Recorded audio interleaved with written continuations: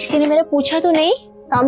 Good morning आ बल्कि good afternoon यार इस काम के लिए घर में अम्मी और यहाँ मंसूर साहब काफ़ी हैं। तुम बस मेरी दोस्त बन के रहा करो।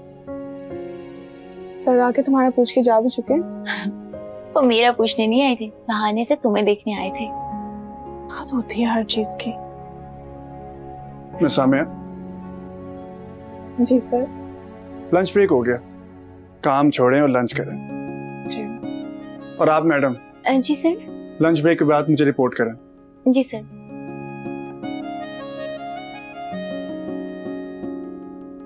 कहा था ना दाल में कुछ काला है।